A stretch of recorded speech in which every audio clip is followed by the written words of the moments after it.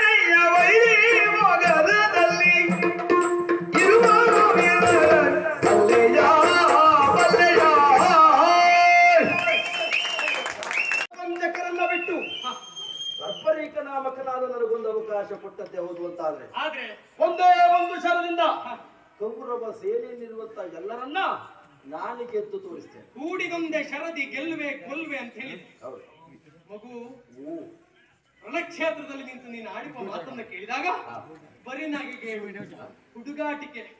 ಬಾಲಿಶ ಅನಿಸಿತು ನನಗೆ. ಅದರ ಅದಲ್ಲದಿದ್ರೆ ತಂದೆ ತಾಯಿಯ ಮುಖದಲ್ಲಿ ನಿಂತಂತ ಮಗ ಒಬ್ಬ ಅಪ್ಪನನ್ನ ಕುರಿತಾಗಿ ಕಂಡು ಹೇಳುವುದಂತೆ ಅಪ್ಪ, ಕಾಣುತ್ತಿರುವಂತ ಆಕಾಶದಲ್ಲಿ ಚಂದ್ರಮನನ್ನ ಹೋಗಿ ಹಿಡಿದು ತರ್ತೇನೆ. ತಂದೆ ಮನಸ್ಸು ಎಷ್ಟು ಹಿಗ್ಲಿಕ್ಕಿಲ್ವ ಹೇಳು. ಇಷ್ಟು ಬಾಲ್ಯದಲ್ಲಿಯೇ ನನ್ನ ಮಗ ಇಂಥದೊಂದು ಸಾಹಸದ ವಿಚಾರವನ್ನು ಪ್ರಕಟಪಡಿಸ್ತಾನೆ ಅಂತಾದ್ರೆ ಇಂದಲ್ಲ ನಾಳೆ ಒಬ್ಬ ಸಾಧಕನಾಗ್ತಾನೆ. ತಂದೆಯ ಮನಸ್ಸು. ಸಂತೋಷ ಪಡದೆ ಮತ್ತಿನ್ನೇನು? ನೀನು ಅಂಗಳದಲ್ಲಿ ನಿಂತು ತಂದೆ ತಾಯಿಗಳಿಗೆ ತೋರಿಸುವ. ಚಂದ್ರನನ್ನು ತಂದು ಕೊಡ್ತೇನೆ ಅಂತ ಹೇಳುವ ಮಗನನ್ನು ಮಾತ್ರ ಕಂಡಿರಬಹುದು. ಆದ್ರೆ ನಾವೆಂತವ್ರು ಗೊತ್ತಾ? ಚಂದ್ರಲೋಕಕ್ಕೆ ಹೋಗಿ ಚಂದ್ರಲೋಕ ಹೇಗುಂಟು ಅಂತ ನೋಡ್ಕೊಂಡು ಬರುವ ಯೋಗ್ಯತೆ ಇದ್ದವರು ಈಗಿನ ಮಕ್ಕಳ ಯೋಗ್ಯತೆ ಅರ್ಥ ಮಾಡ್ಲಿಕ್ಕೆ ಆಗುದಿಲ್ಲ. ಓ ಹೋಗಿ ನೇರವಾಗಿ ಚಂದ್ರಲೋಕವನ್ನು ಸೇರಿ. ನಾವು ಪ್ರಥಮ ಸಹ ನೋಡಿದ್ದು ನಮ್ಮನ್ನು ಹೊರತುಪಡಿಸಿ ಮತ್ತೊಬ್ಬರಿದ್ದ ಈ ಸಾ ಈ ಸಾಹಸ ಸಾಧ್ಯವಿಲ್ಲ ಅಂತ ಪ್ರಕಟಣೆ ಮಾಡಬಹುದು. ಆದ್ರೆ ಅದಷ್ಟು ಸಾಧನೆಯನ್ನ ಮಾಡಬೇಕು ಅಂತಾದ್ರೆ ನಾವು ಹಿಂದೆ ನಡೆಸಿರುವ ಸಾಧನೆ ಬಗ್ಗೆ ಹಾಗೂ ಸ್ವಲ್ಪ ಆಲೋಚನೆ ಮಾಡ್ಬೇಕು. ನೀನು ಮಾಡಿರುವಂತಹ ಸಾಹಸ ಏನು ಅಂತ ಕೇಳಿದ್ರೆ ಗಟ್ಟಿಯಾಗಿ ಕಾಣುವುದು ಒಂದೇ. ತೆರಳಿಪ ತಾಳಕ್ಕೆ ಕೋಟಿ ರಕ್ಕಸರನ್ನ ಒಂದು ಬಂದೆ. ಆ ಧೈರ್ಯ ಆ ಸ್ಥೈರ್ಯ ಈ ರಣಕ್ಷೇತ್ರದಲ್ಲಿ ನಡೆದಿದೆ ಅಂತ ಪ್ರಶ್ನೆ ಮಾಡುದು ಅಲ್ಲ ನೀನೀಗ ನನ್ನ ಬಾಯಿ ಬಿಡಿಸ್ಲಿಕ್ಕೆ ಹೇಳುದು ಅಥವಾ ನಿನಗೆ ಗೊತ್ತಿದ್ದದ್ದು ಅಷ್ಟೇ ಅಂತ ಹೇಳುದು? ಅಲ್ಲ ನಿನ್ನ ಬಾಯಿ ಬಿಡಿಸಿದ್ರೆ ಏನ್ ಬರ್ಬೋದು ಅಂತ ನಿರೀಕ್ಷೆ ಮಾಡು. ಅಲ್ವಾ? ಹಾಗಿದ್ರೆ ನೀನು ನಾಲ್ಕು ಬಾರಿಸಿದ್ರೆ ಮುಂದಿದ್ದವ್ರು ಓಡ್ತಾರೆ. ನಮ್ಮ ಗ್ರಾಮ್ಯ ಭಾಷೆಯನ್ನು ತಟ್ಟಿಯನ್ನ ಬಡಿದು ಬೆಕ್ಕನ್ನು ಓಡಿಸುವುದು ಅಂತ. ನಾನು ಈಗ ಓಡಿಸ್ಲಿಕ್ಕೆ ಬಂದದ್ದು ಬೆಕ್ಕಲ್ಲ ಎನ್ನುವ ವಿಶ್ವಾಸ ನನಗೆ ನನಗೊತ್ತುಂಟು ನೀನು ಯಾವುದನ್ನ ಹೊರಗೆ ತರಿಸ್ಲಿಕ್ಕೆ ಬಂದಿದ್ದೀಯ ಅಂತ. ನನ್ನ ನಿರೀಕ್ಷೆ ಪ್ರಕಾರವಾಗಿ ಅಂತದೊಂದು ಸಾಹಸವನ್ನು ನೀನು ಪಾತಾಳದಲ್ಲಿ ಎಸಗಿದೆ ಅಂತ ನಿಮ್ಮವರು ಹೇಳಿದ್ದನ್ನ ಕೇಳಿದವನ. ನಿಜವಾಗಿ ಆ ಸಾಹಸವನ್ನು ಮೆಚ್ಚಿಕೊಳ್ತೇನೆ. ಆದ್ರೆ ಇಲ್ಲಿ ನಡೆದಿತ್ತು ಅಂತ ಪ್ರಶ್ನೆ ಇಡುವುದಕ್ಕೆ ಕಾರಣ ಏನು ಗೊತ್ತಾ? ಮುತ್ತಜ್ಜ ಭೀಷ್ಮಾಚಾರ್ಯ. ಇಚ್ಛಾಮರಣೆಗಳು ಅಂತ ಕರೆಸಿಕೊಂಡವು ಸಾವನ್ನ ಬಯಸಿದಾಗ ಮಾತ್ರ ಅವರಿಗೆ ಸಾವು ಒಟ್ಟಾರೆ ಸಾವು ಬರ್ಲಿಕ್ಕೆ ಅವರ ಅಪ್ಪ ಎಂದ ಅವರಿಗೆ ಬಂದಂತವರ. ಅಲ್ವಾ? ಮತ್ತೆ ಅವರನ್ನ ಕೊಲ್ಲುವುದಕ್ಕಾಗಿ ಪ್ರತ್ಯೇಕವಾದ ಒಂದು ತಂಡ ಉಂಟಿಲ್ಲ ಅವನು ಅವರು ಅವರನ್ನು ಕೊಲ್ಲುವುದಕ್ಕಾಗಿ ಹುಟ್ಟಿಕೊಂಡವು ಇನ್ನು ದ್ರೋಣಾಚಾರ್ಯ ಅವರನ್ನು ಕೊಲ್ಲುವುದಕ್ಕೂ ಮತ್ತೊಬ್ಬ ಇದ್ದಾನೆ ಸಿದ್ಧ ಅಲ್ವಾ? ಹಾಗಿರುವಾಗ ಕರುಣನನ್ನ ಗೆಲ್ತೇನೆ ಎನ್ನುವ ಹಾಗೆ ಪಂಥಾವಾನದ ಮಾತನ್ನ ಆಡಿದ ಪಾರ್ಥ ಆಗ್ಲೇ ಪುಸ್ತಕ ಸಂದರ್ಭದಲ್ಲಿ ಆವತ್ತೇ ಪ್ರಕರಣ ಆಗಿದೆ. ಇಲ್ಲಿ ಈ ಕಡೆಯಲ್ಲಿ ನಕುಲ ಸಹದೇವರು ಶಕುನಿಯನ್ನು ನೋಡಿಕೊಳ್ತೇನೆ ಅಂತ ಆಗಿದೆ ಪ್ರತಿಯೊಬ್ಬರೂ ಒಬ್ಬೊಬ್ಬರನ್ನ ಗುರಿಯಿರಿಸಿಕೊಂಡು ನಿಂತಿರುವಾಗ. ಚಂದ್ರವಂಶೋದ್ಭವನಾಗಿ ಚಂದ್ರವಂಶದವರು ಆಡಿದ ಮಾತಿಗೆ ಯಾವತ್ತು ತಪ್ಪಿ ನಡೆದವರಲ್ಲ. ಅವರ ಮಾತನ್ನ ನೀನು ಹುಸಿ ಮಾಡ್ತಿ. ನಾಲಿಗೆ ಜನಗೊಂದೆ ಅದೋ ಪ್ರಸಂಗದ ನೆನಪಾದಾಗ ಆಯ್ತು ನಂಗೆ ಆ ಪ್ರಸಂಗದಲ್ಲಿ ಆದದ್ದು ಇವತ್ತು ಮತ್ತು ಮರು ಕಳಿಸಬಾರದು. ಅದಕ್ಕಾಗಿ ಅಂತವರ ಮಾತೆನ್ನುವುದು ಈಡೇರಬೇಕು ಅಂತಾದ್ರೆ ನಿನ್ನ ಹೂಡಿದೊಂದೇ ಶರ ಉಂಟಲ್ಲ. ಅದು ತೆಗೆದು ಬದಿಗಿಡಿದೆ ನೀನು ಮಾಡಬೇಕಾದ್ದೇನು ಕೇಳು. ನೇರ ಅಮ್ಮನ ತಲೆಗೆ ಹೋಗು. ರಣಕ್ಷೇತ್ರದಲ್ಲಿ ಹೋಗಿ ನಿಂತು ಮುಂದೆ ನಡೆಯುವಂತ ಹೋರಾಟದ ಸಿದ್ಧತೆಯನ್ನ ಕಣ್ಣಾರೆ ಕಂಡು ಬಂದೆ ಅಮ್ಮ. ಇಷ್ಟು ಸದ್ಯ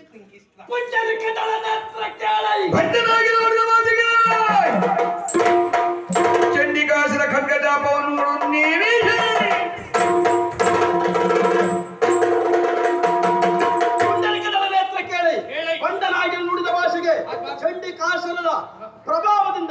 ಹದಿನೆಂಟು ದಿನದ ಮಹಾಭಾರತ ಯುದ್ಧದ ನಂತರದಲ್ಲಿ ಏನಾಗ್ತದೆ ಎನ್ನುವುದನ್ನ ಹಿಂದೆ ಮಾಡಿ ತೋರಿಸುವ ಯೋಗ್ಯತೆ ನನಗೂ ಹೋರಾಟದ ಅಂತಿಮ ತೀರ್ಮಾನ ಏನೆನ್ನುವುದು ಯುದ್ಧಕ್ಕೂ ಮೊದಲೇ ಪ್ರಾರಂಭದಲ್ಲೇ ತೋರಿಸಿಕೊಡ್ತೀನಿ. ತೋರಿಸುವ ಯೋಗ್ಯತೆ ನನಗುಂಟು ಯಾವ ರೀತಿಯಲ್ಲ ನೋಡ್ಬೇಕಾ? ಅಲ್ಲ ನಂಗೆ ನೋಡ್ಬೇಕು ಅಂತ ಉಂಟು. ನಕ್ಷೆ ನಕ್ಷೆ. ಯಾವ ನಕ್ಷೆ? ನೀಲಿ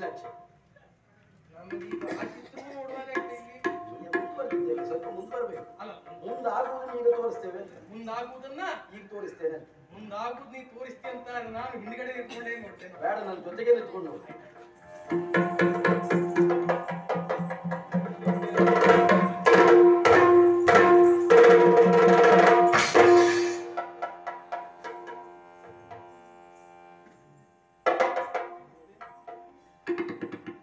ಕೇಶವ ಕೇಶವ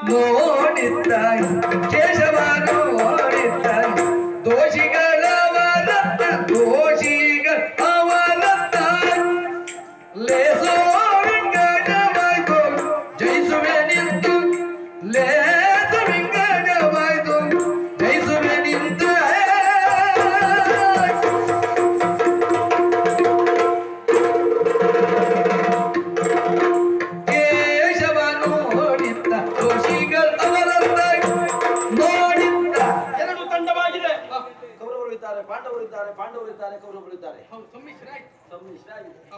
ಕೇಶವ ನೋಡಿತ್ತ ದುಷ್ಟರಿಗೆ ಇರುವಲ್ಲಿ ಸಜ್ಜನರು ಇದ್ದಾರೆ ಸಜ್ಜನರಿರುವಲ್ಲಿ ದುಷ್ಟರು ಸೇರ್ಕೊಂಡಿದ್ದಾರೆ. ಮಿಶ್ರಣ ಉಂಟು. ಹೌದು. ಆದ್ರೆ ಅವರಲ್ಲಿ ಒಂದು ತಂಡ ಇದೆ. ಕೇಶವ ನೋಡಿತ್ತ ಹಾ. ದೋಷಿಗಳವರತ್ತ.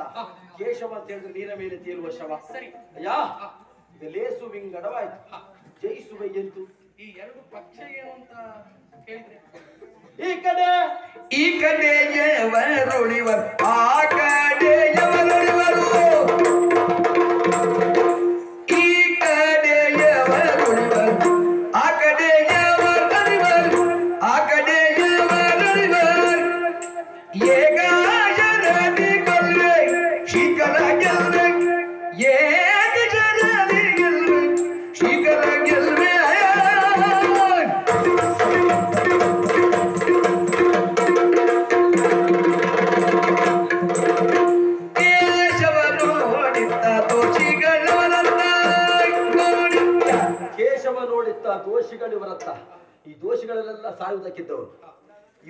ಇವರು ಅಳಿಬವರು ಇವರು ಉಳಿಬವರು ಲೇಸು ವಿಂಗಡವಾಯ್ತು ಇದು ಪರ್ಪರೀಕನ ಅಂತಿಮ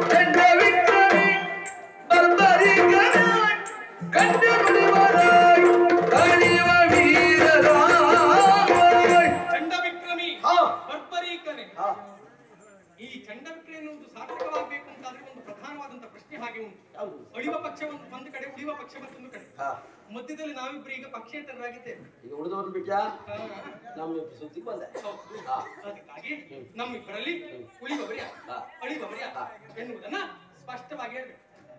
ಇನ್ನೊಂದ್ಸರಿ ಹೇಳು. ನಮ್ಮಿಬ್ಬರಲ್ಲಿ ಹಾ. ಉಳಿಬವರು ಯಾರು? ಹಾ. ಅಳಿಬವರು ನಿನ್ನ ನಂಜು ಎಲ್ಲಿ ಹೋದ್ರೂ ಬಿಡುವುದಿಲ್ಲಲ್ಲ? ನಾನು ಆಗ್ಲೇ ಹೇಳ್ತೇನೆ ಕೆದಕಿದ ಕೊನೆಗೆ ಸಿಕ್ಕುದು ನಿನ್ನ ಹೆಸರೇ ಅಂತ. ನಿನಗೆ ಇನ್ನೂ ಒಂದು ಅಭಿನಯ ಸರಿಯಾಗಲಿಲ್ವಾ? ಉಳಿಬವ್ರು ಯಾರು? ಉಳಿಬವ್ರು ಯಾರು? ಅಂದ್ರೆ ಉಳಿಬವರಿಂದಾಗ ನಿನ್ನ ಬದಿ ಕೈ ಬರ್ತದೆ. ಉಳಿಬವರಿಂದಾಗ ನಮ್ಮ ಬದಿ ಕೈ ಬರ್ತದೆ. ಆಯ್ತು ಪುಣ್ಯಾತ್ಮ. ಸರಿ ಮಾಡುವ. ಸರಿ ಮಾಡು. ಈ ಕಡೆ ಅಳಿಬವರ ಪಕ್ಷ. ಈ ಕಡೆ ಉಳಿಬವರ ಪಕ್ಷ. ಈ ನಾವಿಬ್ಬರು ಪಕ್ಷೇತರರಾದ ಕಾರಣದಿಂದಲಾಗಿ ಅಳಿಬವರ ಪಕ್ಷವನ್ನ ಕೊಯ್ಕ ತರ್ತೇನೆ ಅಲ್ಲ ನಿನಗೆ ಯಾವ ಪುಣ್ಯಾತ್ಮ? ಈಗ ಯಾರಾದ್ರೂ ಒಬ್ರು ಒಂದು ಪಕ್ಷ ಸೇರು ಸೇರುದೇ? ಒಳ್ಳೆ ಬೆಣ್ಣೆಯಲ್ಲಿ ಕೂದಲು ಎಳೆದವ್ರು ಮಾತಾಡ್ತಾ ಇದ್ದಾರೆ. ಅಳಿವ ಪಕ್ಷವನ್ನು ಸೇರುವವರು ಯಾರು? ಮುಖದಲ್ಲಿ ನಗೆ. ಮತ್ತೊಬ್ರು ಹಾಗೆ. ನಾನು ಅದಕ್ಕಾಗಿ ಪ್ರಪಂಚನ ನನ್ನ ಸದಾನಂದ ಅಂತ. ಸದಾನಂದ ಅಲ್ಲ ನೀವು ನಿತ್ಯಾನಂದ ಕೆಲವ್ರನ್ನೆಲ್ಲ ನಗಾಡಿ. ನಗಾಡಿ. ನಿತ್ಯಾನಂದನು. ನಿನಗೆ ಯಾವ್ದು ಅನುಕೂಲ ಬೇಕಿದ್ರೆ ಹಾಕ್ಬೇಕಿದ್ರೆ ಕಾಣಿಸ್ಕೊಳ್ತೇನೆ. ನೀನು ಹೇಗೆ ಬೇಕಾದ್ರೂ ಯಾವ ಅವತಾರದಲ್ಲಿ ಬೇಕಾದ್ರೂ ಕಳಿಸ್ಕೊಡ್ತೀಯ ಆದ್ರೆ ಅಂತಿಮ ನಿರ್ಣಯ ನಮ್ಮಿಬ್ಬರಲ್ಲಿ ಉಳಿಬವರು ಯಾರು ಉಳಿಬವರು ಯಾರು? ಅದು ಸ್ಪಷ್ಟವಾಗಿ ಧ್ರುವ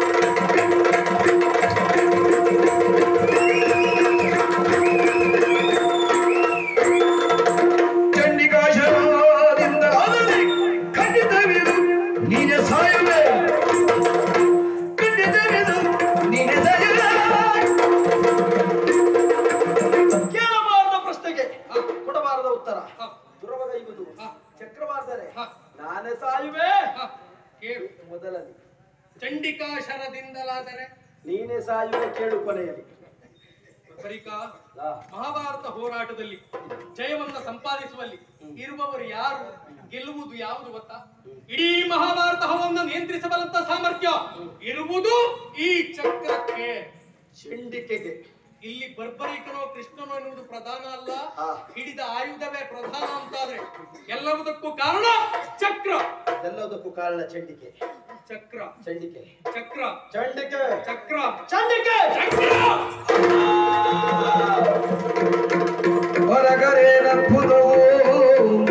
ಹೊರಗರೇನದ್ಭುತವು ಹೊರಗರೇನದ್ಭುತವು ಶಿರವರಿದರೆ ಗೆನ್ನ ತರಳರಡುಗಲ ಎಂದು ಧರ್ಮಜನು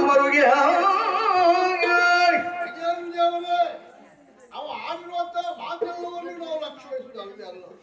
ಹಾಗಂತ ಅವನೊಬ್ಬ ವಿಕ್ರಮದ ವಿಸ್ಫುಲಿಂಗ ಅನ್ನೋದಕ್ಕೆ ನಿಸ್ಸಂಶಯ. ಯಾಕೆ ಸತ್ಯ ಹೇಳ ನಿನಗೆ. ಅವನ ಪಾತ್ರ ಮುಗಿತು ಅವನು ಹೋದ ನಮ್ಮ ಪಾತ್ರ ಕಾಮ ಪಾತ್ರ ಏನೋ ಆಗ್ಬೇಕು ನಿಮ್ಮ ಪಾತ್ರಕ್ಕೆ ಅವನ ಪಾತ್ರ ಏನೆನ್ನುವುದು ಇಲ್ಲಿ ನಡೆದ ಘಟನೆ ಅಲ್ಲ. ಮತ್ತೆ? ಬಹಳ ಮೇಲೆ ನಡೆದ ಘಟನೆ. ಭೂದೇವಿ ಬಂದು ತನ್ನ ಅಳಲನ್ನು ತೋಡಿಕೊಂಡದ್ದು. ಬ್ರಹ್ಮನ ಸಭೆಯಲ್ಲಿ ಹರಣಕ್ಕಾಗಿ ಮೂರ್ತಿ ಎತ್ತು ಬರಬೇಕು ಭಗವಂತ ಅಂತ ನನ್ನಲ್ಲಿ ಬೇಡಿಕೊಂಡಾಗ ಅವಳಿಗೆ ಮಾತು ಕೊಡುವುದರ ಮೊದಲಾಗಿ ಸೂರ್ಯ ವರ್ಚಸ್ಸು ಎನ್ನುವಂತ ಗಂಧರ್ವ ಅಲ್ಲಿವರೆಗಾಗಿ ಬಂದ ಅಹಂಕಾರದ ತುತ್ತ ತುದಿಯಲ್ಲಿರುವಂತ ಆತ ಹೂಬಾರ ಹರಣಕ್ಕಾಗಿ ನೀನು ಹೋಗಬೇಕಾದಂತ ಅವಶ್ಯಕತೆ ಇಲ್ಲ ನಾನು ಹೋಗ್ತೇನೆ ಅಂತ ಹೇಳಿದ. ಕುಪಿತಗೊಂಡಂತ ಬ್ರಹ್ಮದೇವ ಅವನನ್ನು ಶಪಿಸಿದ. ಭೂಲೋಕದಲ್ಲಿ ರಕ್ಕಸನಾಗಿ ಹುಟ್ಟು ಆ ಶಾಪದ ಪರಿಣಾಮವಾಗಿ ಆ ಸೂರ್ಯ ವರ್ಚಸ್ಸು ಎನ್ನುವಂತ ಗಂಧರ್ವನೇ ಭೂಲೋಕದಲ್ಲಿ ಬರ್ಬರೀಕ ನಾಮಕನಾಗಿ ಬಂದ. ಸತ್ಯ ಹೇಳ. ಅಂದು ತಾನು ಮಾಡಿರುವಂತ ತಪ್ಪಿಗೆ ಕ್ಷಮೆಯಾಚಿಸಿ ಕುಶ್ಯಾಪವನ್ನು ಬೇಡಿದಾಗ ಬ್ರಹ್ಮದೇವನೇ ಅವನಿಗೆ ವರವನ್ನು ಅನುಗ್ರಹಿಸಿ ಕಳುಹಿಸಿದ್ದಾನೆ. ಮುಂದೊಂದು ಸಂದರ್ಭ ಚಂಡಿಕಾ ದತ್ತವಾದಂತಹ ಅಕ್ಷಯ ಘಟಕವನ್ನು ಹಿಡಿದು ವಿಜೃಂಭಿಸುವಲ್ಲಿ ಮುಂದಾಗು. ಮುಂದಿನ ಭವಿಷ್ಯತ್ತೆನ್ನುವುದು ನಿನ್ನ ಪಾಲಿಗೆ ಲಭಿಸ್ತದೆ. ಹೆಣ್ಣಿನ ಶಾಪ ಎನ್ನುವುದು ನಿನಗೆ ಲಭಿಸ್ತದೆ. ಹೆಣ್ಣಿನ ಶಾಪದಿಂದಲಾಗಿ ನೀನು ಕಲಿತಿರುವಂತಹ ವಿದ್ಯೆಯನ್ನು ಕೊನೆಯ ಕಾಲದಲ್ಲಿ ಮರವೆಯಾದಾಗ ಯಾವಾಗ ನಿನ್ನ ಅಕ್ಷಯ ಖಡ್ಗಕ್ಕೆ ಅಡ್ಡಲಾಗಿ ಚಕ್ರಶಕ್ತಿ ನಿಲ್ತದೋ ಆ ಕ್ಷಣಕ್ಕೆ ನಿನ್ನ ಪಾಲಿಗೆ ಮೋಕ್ಷ ಅಂತ. ಅದಕ್ಕಾಗಿ ಅಂತ ಸಂದರ್ಭ ಎನ್ನುವುದು ಇವತ್ತು ಇಲ್ಲಿ ಒದಗಿ ಬಂತು. ಅದಕ್ಕಾಗಿ ಅವನ ಪಾತ್ರ ಮುಗಿತು, ಅವನನ್ನ ಕಳುಹಿ ಕೊಟ್ಟವನಾಗಿದ್ದೇನೆ ಮುಂದೆ ನಡೆಯುವುದು ಮಹಾಭಾರತ ಸಂಗ್ರಾಮ. ಆ ಮಹಾಭಾರತ ಸಂಗ್ರಾಮದತ್ತ ನಾವು ಲಕ್ಷ್ಯವನ್ನು ವಹಿಸಬೇಕು ಅಂತಾದ್ರೆ ಬಿಡದಿಯನ್ನ ಸೇರ್ಬೇಕು. ಅದಕ್ಕಾಗಿ ಬರ್ಬರಿಕನಿಗೆ ಮೋಕ್ಷವನ್ನು ಒದಗಿಸಿಕೊಟ್ಟು ತಾವು. ಮುಂದಪ್ಪ ದಾರಿದ ಬಗ್ಗೆ ಆಲೋಚನೆ ಮಾಡೋಣ. ಸರ್ವೇ ಜನ ಭವಂತು ಸನ್ಮಂಗಲಾನಿ.